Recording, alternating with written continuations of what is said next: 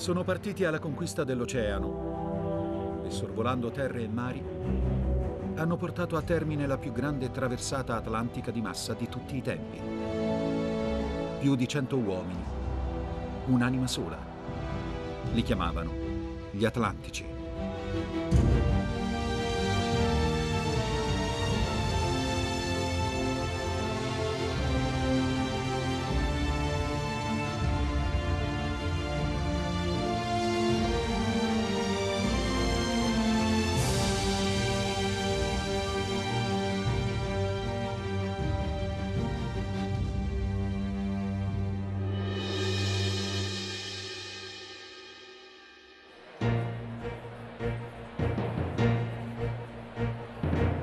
28 ottobre 1922, giorno della marcia su Roma e della conquista del potere da parte del fascismo.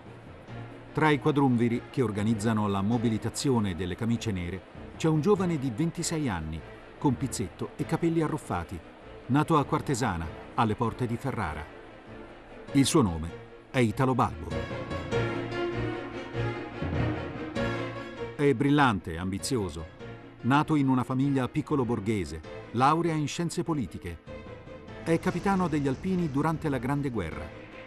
Alla fine del conflitto aderisce al fascismo divenendo in poco tempo capo indiscusso dello squadrismo ferrarese.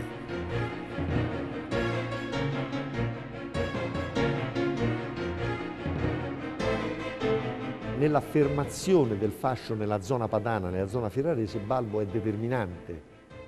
Lui mh, gestisce tutto lo squadrismo ferrarese che è uno dei più feroci, è uno dei più agguerriti. Durante poi il ventennio fascista ancora si ricordava la famosa colonna di fuoco, cioè la colonna di Balbo, dei, dei fascisti di Balbo, che eh, metteva a ferro e a fuoco le città romagnole e spazzando via tutte le organizzazioni operaie e socialiste si propone come un uomo d'azione, il classico uomo d'azione che sa realizzare i piani e i progetti. Nel 1923 Balbo è nominato comandante della milizia volontaria per la sicurezza nazionale, ma un anno dopo si dimette a causa dell'omicidio di Don Giovanni Minzoni, un parroco di Argenta ucciso da squadristi. È un delitto ordito dalla Federazione Fascista di Ferrara Balbo, accusato di essere connivente con i mandanti, lascia la milizia, ma non la politica. Mussolini però non, fa, non può fare a meno di Balbo, perché Balbo è veramente un esponente di quello squadrismo importante della Valpadana che era un elemento di forza del fascismo stesso. Inquieto, irrequieto, turbolento, ma forte, un elemento di forza, era quello che dava la forza numerica al fascismo. Mussolini lo promuove sottosegretario all'economia nazionale, poi sottosegretario alla Regia Aeronautica, la più giovane delle forze armate, il fiore all'occhiello del duce, che si dichiara fanatico del volo. L'aeronautica è giovane, la forza armata ha tre anni, è rissosa e disordinata perché è nata con pezzi di altre forze armate ed è piuttosto difficile metterla assieme. Balbo, che non è pilota, che non è mai stato in aeronautica, viene mandato fondamentalmente per normalizzare la situazione. Essendo un personaggio di primo piano del regime, è in qualche modo non scavalcabile. In realtà nessuno si aspetta che lui ci prenda gusto. Questo è il punto. 8 giugno 1930. Prima giornata dell'ala. 250 aerei sono schierati ala contro ala alla presenza di Mussolini e del re Vittorio Emanuele III. Determinato a dare alla giovane arma il prestigio che merita, Balbo punta su esibizioni spettacolari enfatizzate dalla propaganda. Per incoraggiare gli arruolamenti e far familiarizzare gli italiani con il volo, inventa le giornate del battesimo dell'ala. Donne, bambini, intere scolaresche accorrono in massa sui prati dell'aeroporto del Littorio tutti vogliono provare il brivido del volo.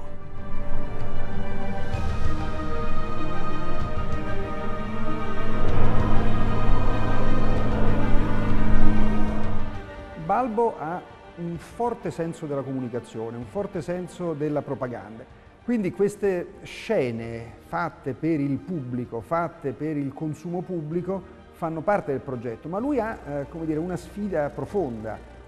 L'aeronautica è una cosa nuova, gli aeroplani sono ancora percepiti come insicuri, lui deve in qualche modo vendere un prodotto mentre ancora lo sta costruendo e sviluppando.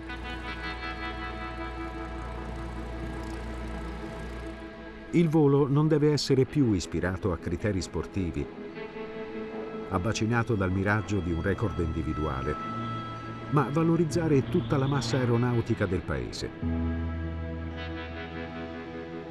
L'Italia deve dimostrare che la sua riserva di uomini intrepidi e generosi è inesauribile, perché comprende tutto il corpo dei nostri azzurri volatori del cielo. Mussolini lo, come dire, in qualche modo lo coadiuma in questo, lo fiancheggia, eh, lo aiuta eh, perché capisce che l'aviazione può rappresentare per il fascismo un grande simbolo di affermazione dell'Italia, dell dell'Italia in generale e dell'Italia fascista in particolare. Per attuare quel principio di squadra aerea su cui intende sviluppare l'aeronautica, Balbo sperimenta le crociere di massa. La prima è nel Mediterraneo occidentale. Dal 26 maggio al 2 giugno 1928 61 idrovolanti raggiungono la Spagna. Un anno dopo fanno rotta verso Oriente attraverso i cieli di Grecia, Turchia, Bulgaria, fino a Odessa, in Unione Sovietica. Nessun incidente, nessuna avaria, grande successo personale. Balbo, che ha preso il brevetto di volo solo due anni prima, è promosso ministro dell'aeronautica e generale di squadra aerea.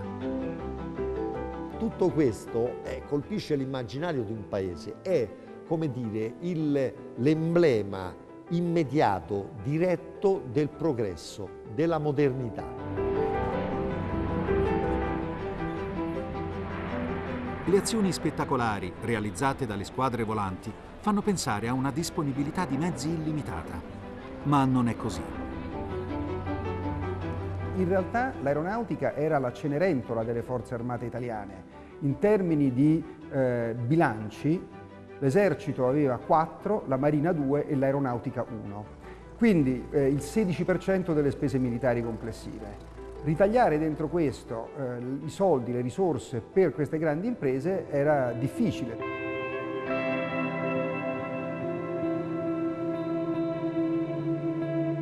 Balbo, nonostante tutto, è convinto che le crociere possano elevare il prestigio del paese nel mondo. Pensa in grande Dopo il mare, l'oceano. Meta finale, il Brasile.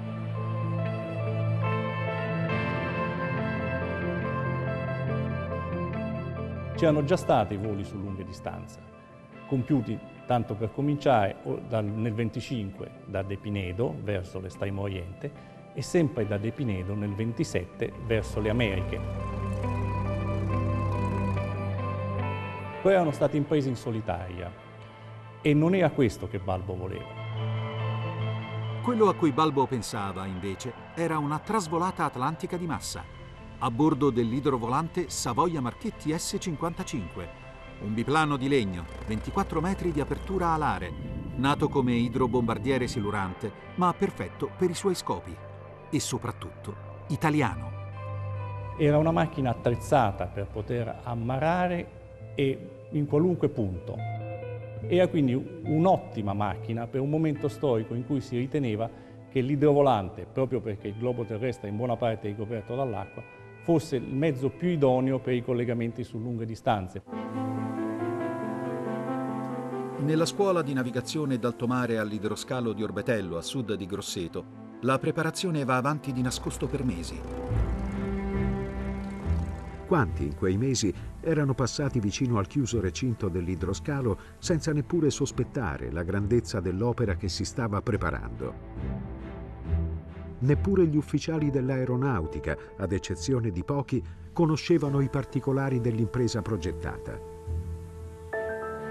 All'oscuro di tutto sono persino le famiglie degli ufficiali che alloggiano nei pressi dell'idroscalo, come quella del capitano Giuseppe Marini. Il mio primo ricordo che ho del, di quell'epoca è un manifesto che era molto vivace con questi aerei S-55, con la traccia del volo che avrebbero fatto. Io ho chiesto all'attendente che ci portava a me e a mio fratello a passeggio che cosa fosse quel manifesto e lui ci disse guardate, lì ci sta vostro padre. L'orgoglio si mescola subito con la preoccupazione.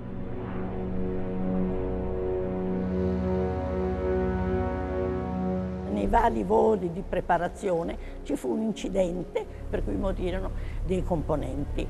Probabilmente dovuto al fatto che i voli notturni venivano effettuati durante le notti senza luna, per cui la superficie dell'acqua non, era vista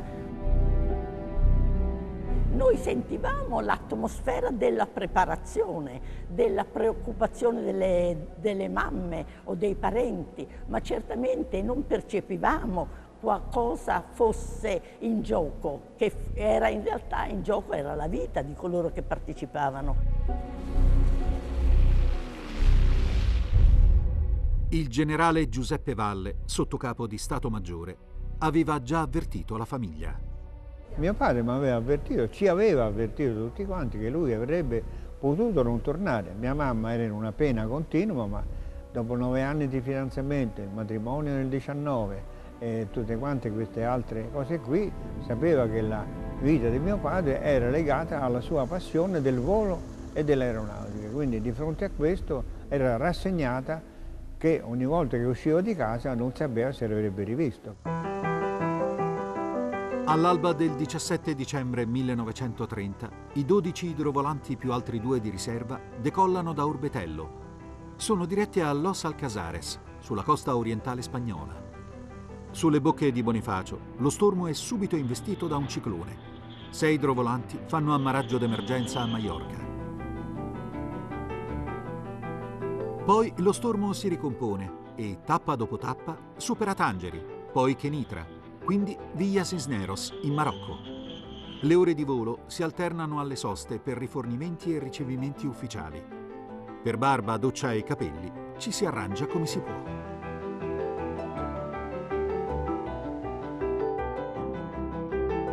Il 25 dicembre lo stormo è in volo verso l'isola di Bolama, l'ultima tappa africana prima del gran salto verso l'oceano. L'aria è diventata pesante. Gli equipaggi salgono in quota per trovarvi una temperatura più sopportabile. Pranzo di Natale in volo. Una scatoletta di pollo in gelatina e il caffè. A Bolama l'Atlantico è davanti agli occhi, ma la sosta dura più del previsto. Balbo è nervoso, rimanda tre volte la partenza. La tratta atlantica è la più difficile, la più lunga, la più impegnativa. Questo si vedeva già sulla carta. Quando la si affronta diventa ancora più difficile.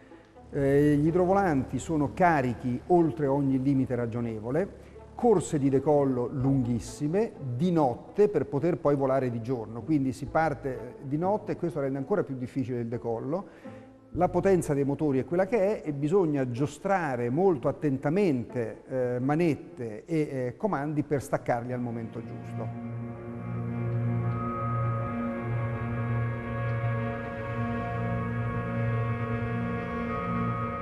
All'1.29 del 6 gennaio 1931, notte di luna piena, i 12 idrovolanti si preparano a decollare uno dopo l'altro verso l'immensità dell'Atlantico. La tensione è altissima. Il capitano Recagno e il generale Valle non riescono a prendere il volo. Balbo riuscì a staccarsi, mio padre non riuscì a staccarsi. Si rimise con calma, piano piano, dentro, eh, giù verso il mare, ammararono, ruotarono di 180 gradi e tornarono verso la, la base, il punto di partenza per ricominciare una seconda, una seconda planata. Balbo aveva appena ordinato. Se non riuscite a decollare, non provate una seconda volta. È pericoloso. Vuol dire che meno apparecchi riusciranno a fare la traversata.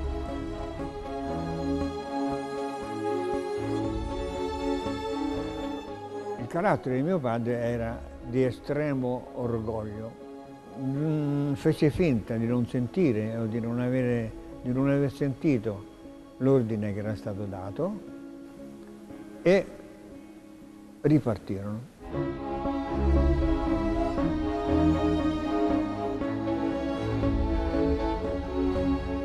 Mentre facevano il primo pezzo del flottaggio, avanti a loro, sulla rotta che tutti gli dovevano fare, videro un enorme bagliore, una grossa fiammata.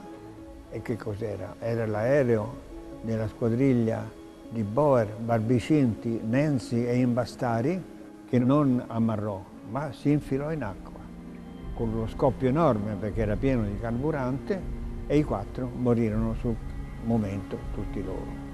Cercarono immediatamente i soccorsi eccetera, ma la laguna era piena di pescicani e quindi praticamente di questi quattro eroi non fu più trovato niente.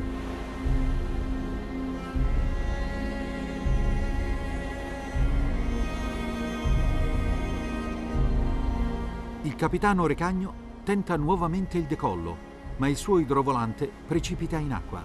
Lo scafo destro si spezza.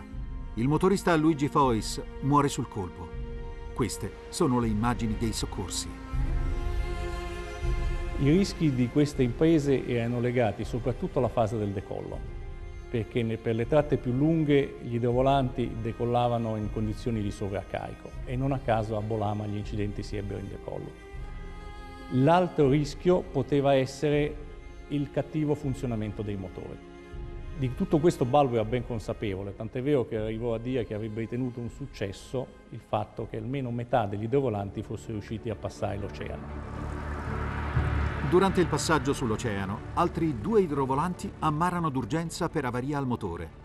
Il generale Valle, in una disperata lotta contro il tempo, riesce invece a raggiungere lo stormo quando ormai ha vista terra.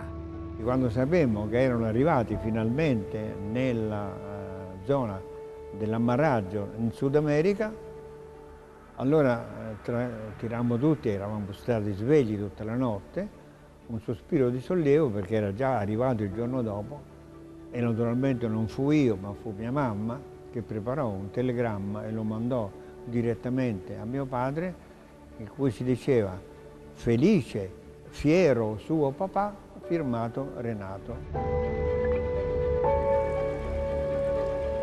Il 7 gennaio 1931, dopo più di 18 ore di volo consecutivo, lo stormo compatto sorvola la costa del Brasile e alle 19.30 ammara nella baia di Porto Natale. Dopo una sosta a Bahia, il volo riprende e in sette ore gli Atlantici sono in vista della grande baia di Rio.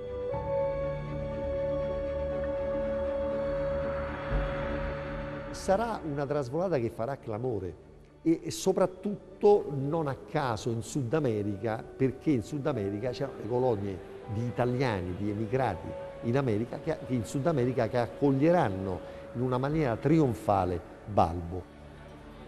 In una lettera a Balbo del 10 gennaio 1931, Mussolini scriverà Ho seguito con l'ansia che puoi immaginare, ma con la certezza che tu sai, il grande volo. L'ala italiana era impegnata davanti al mondo e alla storia in un cimento non ancora usato.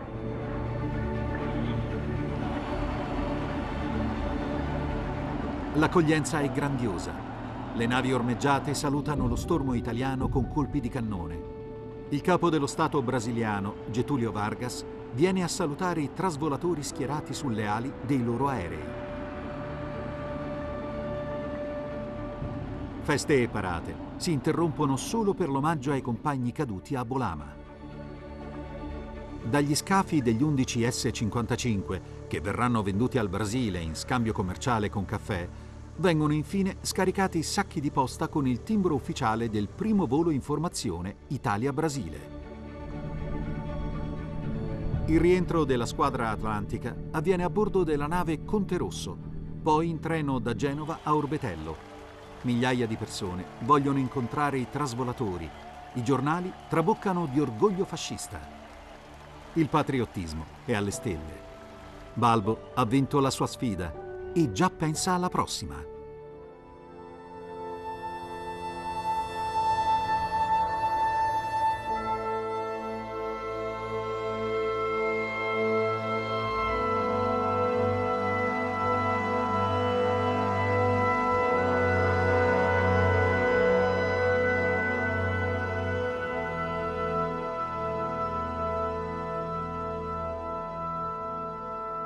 Alle ore 11 del 28 ottobre 1931, nono anniversario della marcia su Roma, il duce in divisa da caporale d'onore della milizia, accompagnato dal ministro Balbo, inaugura il Ministero dell'Aeronautica.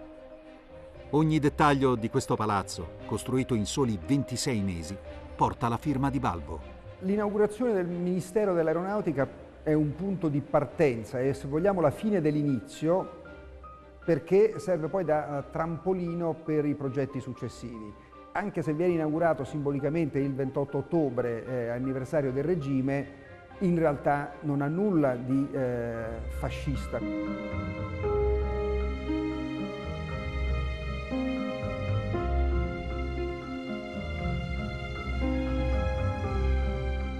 Qui siamo in un momento in cui si confrontano all'interno del regime due tendenze quella neoclassica che si richiama insomma, a Piacentini, a, a, a, una, dire, a stili e valori plastici particolari, e quella modernista che è poi l'elemento nuovo del Novecento.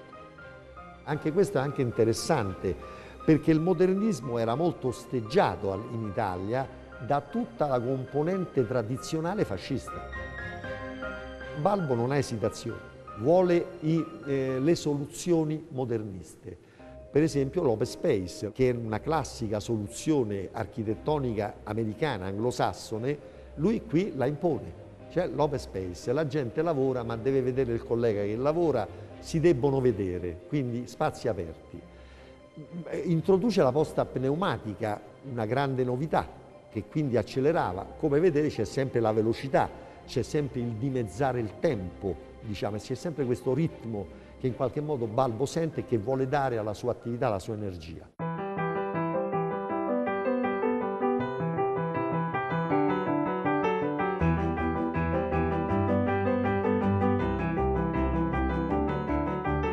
Ed è proprio nelle sale di questo palazzo che Balbo e i suoi più stretti collaboratori accarezzano un sogno ancora più grandioso. Eh, Balbo concepisce addirittura un giro del mondo, per il 1932 per festeggiare il decimo anniversario della uh, marcia su Roma, della rivoluzione fascista. Questo salta un po' per la complessità organizzativa, perché un giro del mondo ovviamente coinvolge molti paesi, un po' per problemi politici in quanto c'è una instabilità uh, in Estremo Oriente che non permette di passare da lì. Una crociera aerea così lunga ai poli opposti del mondo non avrebbe impiegato meno di 20 milioni di lire, troppo alto per i nostri bilanci. Bisognava rinunciare.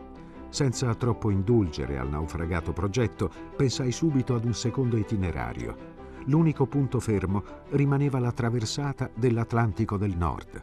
A questa non volevamo e non potevamo rinunciare. L'Atlantico settentrionale aveva una forte attrazione per tutti gli aviatori, perché era un po' l'obiettivo, quello di collegare vecchio e nuovo mondo che si perseguiva da una decina d'anni. Adesso si trattava di fare qualcosa di più, si trattava di portare una formazione di velivoli concepita per operare su mare attraverso un continente, perché bisognava attraversare l'Europa e sorvolare le Alpi, e poi attraverso l'Atlantico del Nord in condizioni climatiche, se possibile, ancora più complesse di quelle che siano incontrate nell'Atlantico meridionale. Balbo punta quindi sulla doppia traversata atlantica del nord, andata e ritorno. Un percorso che equivale a metà del giro del mondo affrontato da una formazione di 24 aerei. Un'impresa senza precedenti e con scarsissime probabilità di riuscita. Non bastano 24 idrovolanti che funzionano singolarmente, devono esserci 24 macchine, 24 equipaggi che funzionano insieme, nello stesso momento, partire ed arrivare insieme. Questo in una zona, in un tratto di mare con tempo pessimo.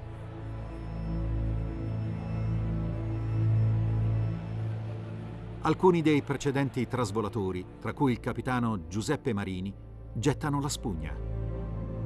E mio padre parlando con Italo Balbo gli disse guarda io non posso partecipare perché i miei bambini sono piccoli, mia moglie eh, assolutamente non vuole che io corra questo rischio, per cui a un certo momento ci fu evidentemente un poco di dissapore, per cui Italo Balbo disse a mio padre, senti Marini, ma mi pare che tu no, non hai la testa a posto in questo momento. Persino la moglie di Balbo, la contessina Emanuela Florio, da cui aveva avuto tre figli, è in ansia per la nuova trasvolata. E lui le dedica il libro Stormi d'Italia sull'oceano, con queste parole. Alla grande nemica della mia impresa, con infinita dolcezza, Italo. Balbo va avanti, impara dagli errori del passato, vuole motori più potenti, nuove eliche, nuovi strumenti di bordo e cerca nuovi uomini. Bastò lanciare il bando perché le domande piovessero da ogni parte in forma plebiscitaria. Non vi era ufficiale in possesso dei titoli richiesti che non solo non desiderasse, ma insistentemente supplicasse di essere inviato a Orbetello. Per due anni, dal 1931 al 1933, si lavora a ritmo serrato. Chiusi dentro la scuola di navigazione d'alto mare di Orbetello, i futuri equipaggi della seconda squadra atlantica si sottopongono a voli diurni, notturni, sotto la pioggia, la nebbia e alla cieca. Tra loro il sergente radiotelegrafista navigante Dino Arcangeli. Mi diceva mio babbo che era talmente serio e talmente duro il corso che quando era bel tempo Balbo li mandava in aula a studiare, quando era brutto tempo li mandava in volo, proprio per temprarli, per motivarli di più.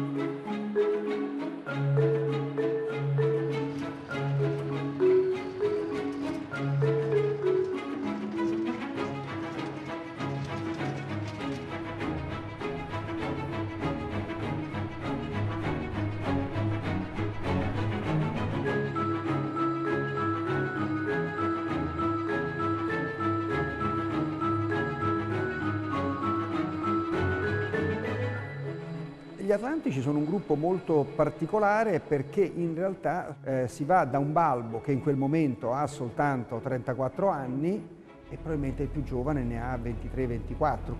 È un mondo quindi di giovani, è un mondo di eh, persone che hanno un'esperienza tutto sommato maturata insieme e la clausura di Orbetello ha fatto ancora più gruppo. Loro avevano libertà per 5 ore ogni 15 giorni.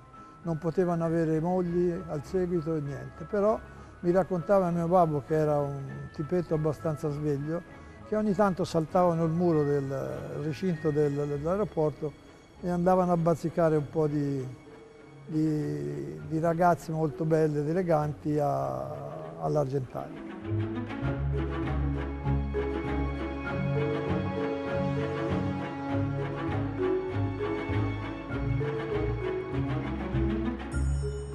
Per preparare l'impresa, Balbo invia altri uomini a fare sopralluoghi lungo la rotta e allestire stazioni meteorologiche in Islanda, Groenlandia e Labrador.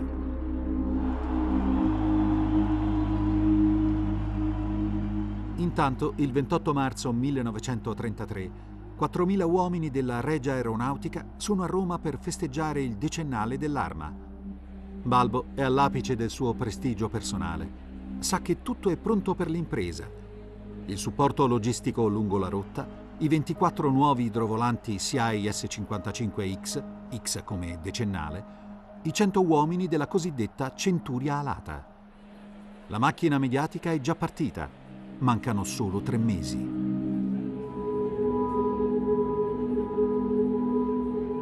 L'attesa delle condizioni adatte si prolungò molto e questo consentì ad esempio a una colonia, a una piccola comunità di giornalisti americani, eh, naturalmente interessati direttamente al volo perché si andava a casa loro fondamentalmente, di eh, spostarsi a Orbetello da dove eh, partivano in genere trasfolate di Balbo. Noi abbiamo la descrizione di un grande giornalista americano, David Dara, che sta a Orbetello, ci sta un mese oziando, aspettando, eccetera, fino alla mattina del volo. E è una descrizione dove, a mio avviso, il mito di Balbo già è affermato, perché trapela dalle parole, eppure questo David Darra è un antifascista, non è un fascista, non è un simpatizzante del regime, è un giornalista, anzi, nel mirino nel 1935 verrà espulso addirittura Quindi lui è un testimone importante in questo senso della costruzione del mito aviatorio di Balbo, perché lui è presente, è presente quando arriva questa all'alba, la mattina presto arriva Balbo, che riunisce i suoi e gli fa il discorso.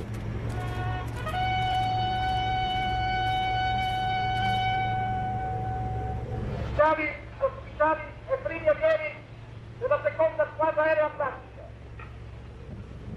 Assumo da questo momento il comando delle nostre otto squadriglie con fermo proposito portate alla vittoria sui cieli del Nord Atlantico. Voi certo comprendete tutti di prestigio nazionale e di umano progresso noi siamo investiti. Tifosi di Alle 4.37 del mattino di sabato 1 luglio 1933, i 25 idrovolanti decollano, uno dopo l'altro, dalla silenziosa laguna di Orbetello. Superano le Alpi, mai prima sorvolate da una formazione di aerei, poi il fiume Reno. All'ammaraggio ad Amsterdam, la tragedia. L'aereo del capitano Baldini cappotta. Queste le immagini straordinarie dei soccorsi. Dall'alto vedo un apparecchio rovesciato. Ho una stretta al cuore. C'è per disgrazia un morto. Ugo Quintavalle, un giovane, uno dei migliori il dolore è sul volto di tutti. Questi uomini fanno un'anima sola con la mia. I festeggiamenti all'arrivo sono rinviati alla seconda tappa di Londonderry, in Irlanda. Poi la formazione prosegue compatta verso Reykjavik, in Islanda.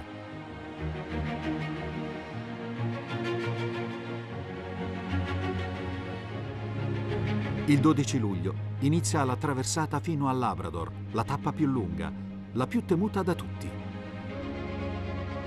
Si alza la nebbia, si vola alla cieca, con i soli strumenti di bordo. Balbo ordina a tutti di tenersi a distanza di sicurezza l'uno dall'altro. Circolare. Ore 8 e 30. Entro nella nebbia, stop. Prendere distanze previste et quota rotta fissata. Stop. Mia quota metri 100. Stop. Ballo.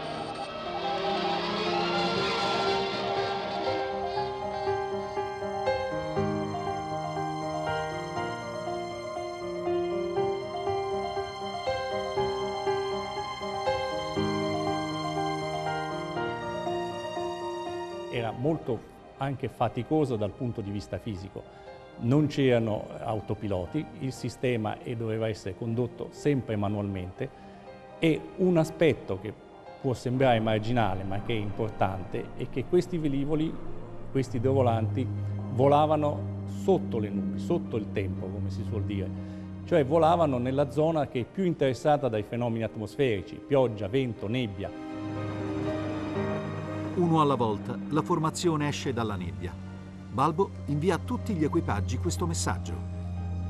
Coraggio ragazzi, esco dall'inferno bianco, stop. Cielo sereno, sotto mare compatto, nebbia, stop. Se un apparecchio vede Nannini, me lo comunichi, stop. Poi la squadra fa tappa a Cartwright, un villaggio di pescatori sulla costa del Labrador, poi a Shediac e a Montreal. Alle 17.45 del 15 luglio 1933, lo stormo di idrovolanti appare sui cieli di Chicago. Sotto i loro scafi, i grattacieli della metropoli e il palazzo dell'Esposizione Universale dedicata al secolo del progresso.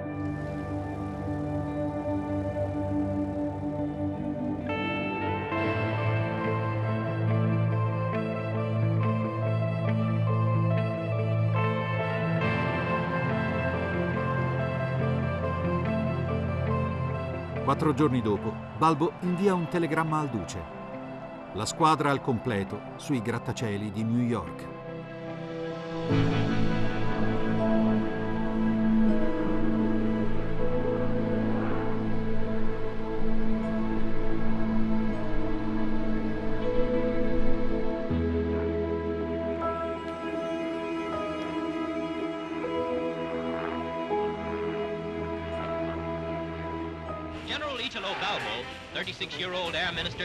Command.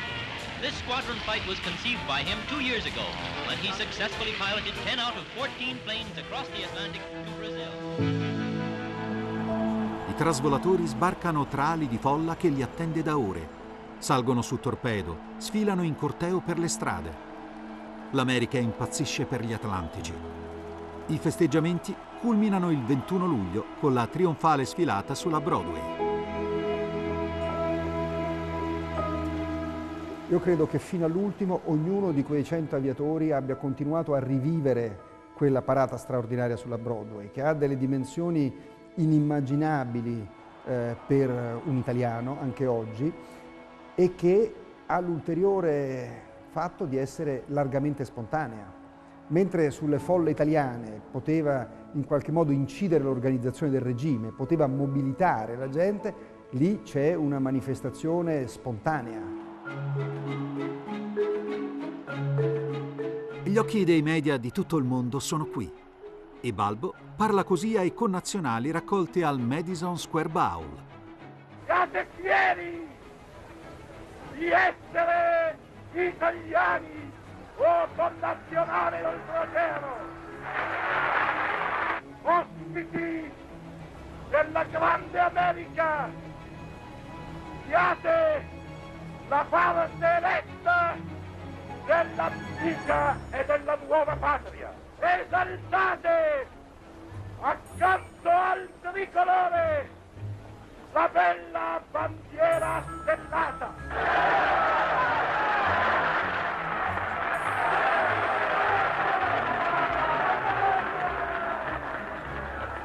Connazionali, viva sempre l'Italia, viva gli!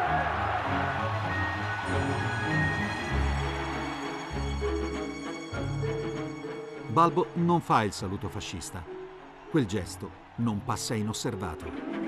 Balbo evita accuratamente il riferimento al regime. Lui non è l'esponente del regime fascista che va in America, lui è l'italiano.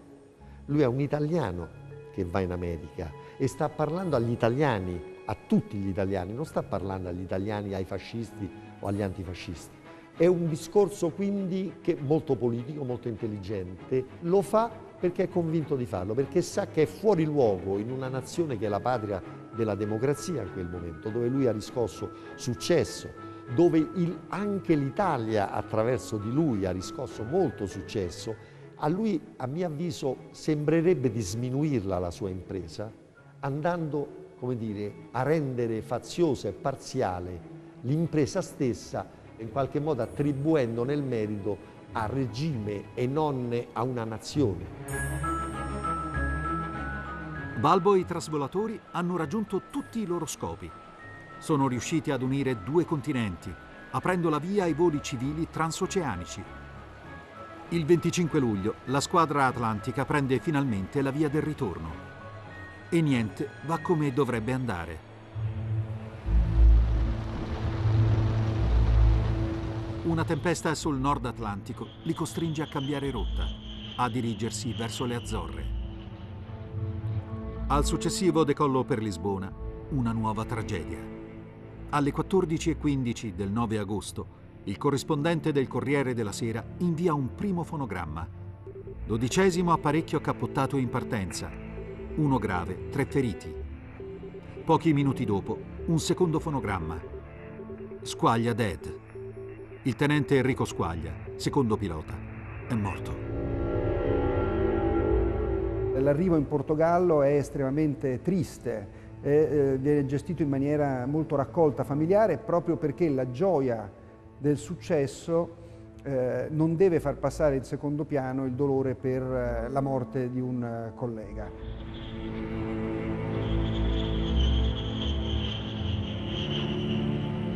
Manca l'ultima tappa, per scaramanzia, la più temuta.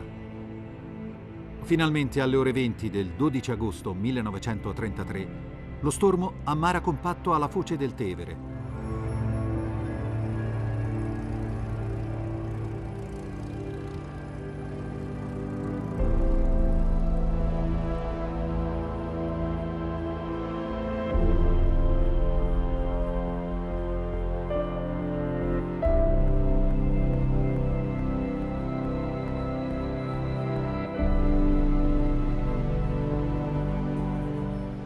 Trasvolatori sono accolti da eroi.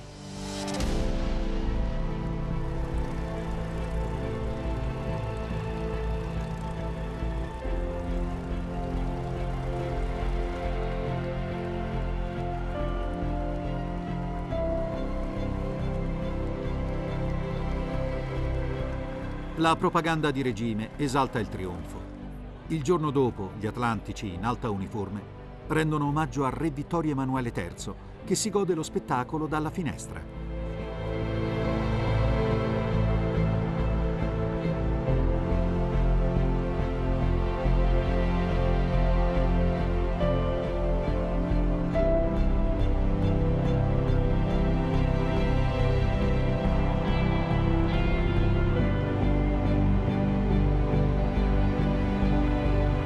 Trasvolatori camminano su un tappeto di foglie d'alloro e, secondo l'antico cerimoniale romano, sfilano su Via dei Fori Imperiali e attraversano l'arco di Costantino tra ali di folla impazzita.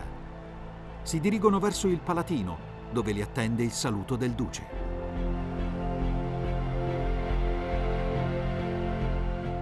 Durante i 20.000 chilometri del vostro volo, che col passare del tempo diventerà leggendario, centinaia di milioni di uomini in tutte le lingue del mondo hanno pronunciato il nome Italia, che potranno molti anni, prima che le aviazioni degli altri paesi possano non dico superare, ma eguagliare la vostra magnifica impresa. Tutti gli atlantici saranno decorati e promossi al grado superiore. Balbo ottiene la nomina di maresciallo dell'aria il grado supremo dell'aeronautica militare. Ma per lui quel trionfo sarà invece l'inizio della fine.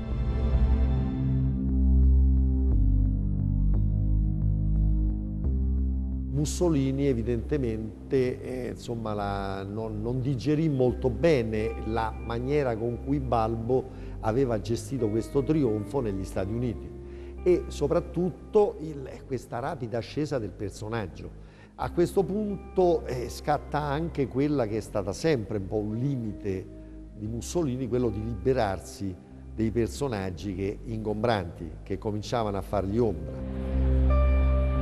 Meno di tre mesi dopo, il 31 ottobre 1933, Mussolini congeda Balbo da ministro della Regia Aeronautica. Lo allontana da Roma e lo nomina governatore generale della Libia. Una decisione inaspettata che cambia profondamente il futuro dell'aviazione italiana. Apparentemente non cambiò nulla. In realtà eh, cambiò completamente la prospettiva con, con cui furono affrontati i successivi dieci anni. Ci furono due guerre, l'Etiopia e la Spagna, ci fu un cambio di passo nell'evoluzione della tecnologia aeronautica che si verificò alla metà degli anni 30 e ci fu anche una sorta di involuzione dello spirito della stessa forza armata in cui tornò a prevalere la dimensione dell'individualismo. Si ebbe una sorta di trasformazione all'indietro della regia aeronautica, furono perse alcune competenze, la navigazione d'altura, chiamiamola così, il volo senza visibilità, l'idea della squadra e del supporto logistico proiettato sulle lunghe distanze. Tutto questo sarebbe poi venuto a mancare nel momento della prova qualche anno dopo.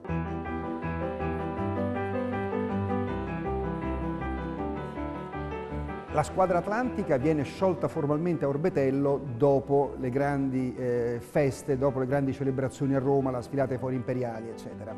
Ma in realtà il gruppo di atlantici rimase sempre in contatto, si formò un legame, tant'è che eh, ogni tanto qualche reparto dell'aeronautica, dovendo fare esercitazioni di navigazione, pensava di recarsi a Tripoli e questi voli, che erano anche degli omaggi a Balbo, venivano puntualmente segnalati dalla polizia politica a Mussolini come segno di qualche complotto, di qualche cosa che in fondo l'aeronautica era più balbiana che mussoliniana.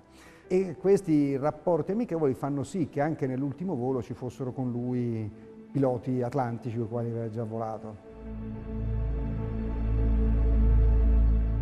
28 giugno 1940, ore 15. Questa è l'ultima foto di Balbo poco prima della partenza dalla pista di Derna per una missione di ricognizione a Sidia Zeis. Con lui gli amici Ottavio Freilich, ex Atlantico, e Nello Quilici, amico fraterno. Tra due ore, l'aereo su cui viaggeranno, un Savoia Marchetti SM-79, Imanu, chiamato così in onore della moglie di Balbo, sarà abbattuto per errore dalla contraerea italiana. Gli otto membri dell'equipaggio moriranno carbonizzati. Balbo ha solo 44 anni. L'Italia è in lutto. Italo Balbo caduto da eroe, titolano tutti i giornali. Il duce ordina esequie solenni a Tripoli. Le otto bare sfilano per le vie della città. I funerali di, di Balbo vengono celebrati in maniera, diciamo, propagandisticamente molto efficace. Balbo si presenta come il figlio prediletto nei funerali, il figlio prediletto del regime, morto incidentalmente, circondato da una grande, universale diciamo, commozione di un popolo. Ma tutto ciò nasconde quello che, che, erano i veri, reali rapporti che negli ultimi tempi si erano venuti a definire fra Balbo e il regime stesso. Erano stati sempre rapporti difficili, ma negli ultimi anni erano, avevano raggiunto una certa criticità, perché Balbo non aveva accettato la politica antisemitica del regime, Balbo non era un antisemita e lo aveva manifestato esplicitamente e soprattutto non era eh, favorevole all'alleanza con la Germania. Quindi un dissidio fra i due, inconciliabile, su posizioni molto differenti e soprattutto una linea, una direttrice di marcia di Balbo che non era certo quella di Mussolini. Ancora qualche anno e il regime fascista che Balbo aveva contribuito a imporre crollerà sotto le macerie del secondo conflitto mondiale. Delle crociere e dei trionfi restano solo i ricordi.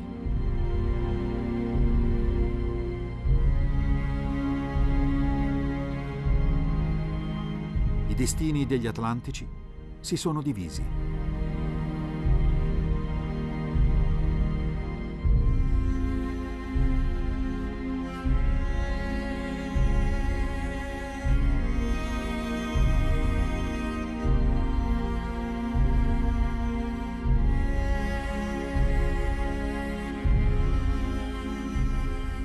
Anni dell'immediato dopoguerra ci fu un sovvertimento dei valori, quantomeno temporaneo, per cui le crociere furono, eh, furono diciamo considerate un elemento soltanto di propaganda politica, il che probabilmente lo erano, ma erano anche fatte da aviatori italiani che ci avevano rimesso la pelle.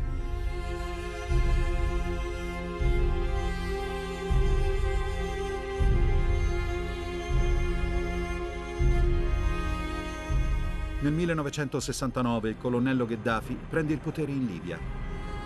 Per vendicarsi del passato coloniale italiano espelle dal paese la comunità italiana e le salme dei 10.000 caduti in territorio libico, incluso Balbo e i compagni di equipaggio.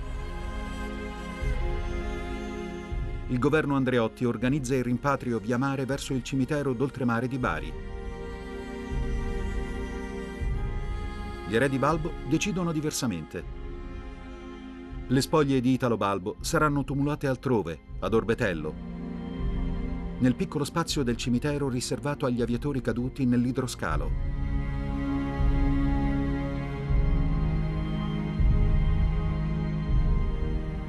Altri dei suoi vecchi compagni di volo, riuniti nell'associazione Trasvolatori Atlantici, esprimono lo stesso desiderio. Essere sepolti insieme.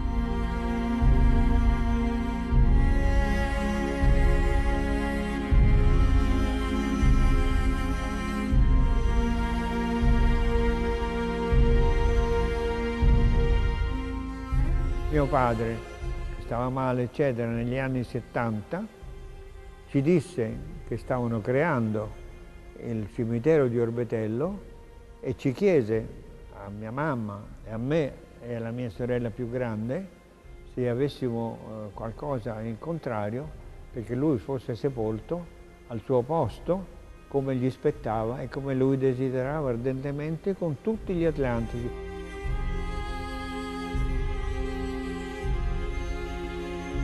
E lì sta ancora proprio dando la destra al suo comandante Balbo. Sotto tanti aspetti la squadra atlantica non si è mai sciolta, quello sciogliete le righe a Orbetello è soltanto un arrivederci ed è quindi naturale per loro che alla fine della loro vita si ritrovino dove c'era stato il momento più esaltante, cioè Orbetello.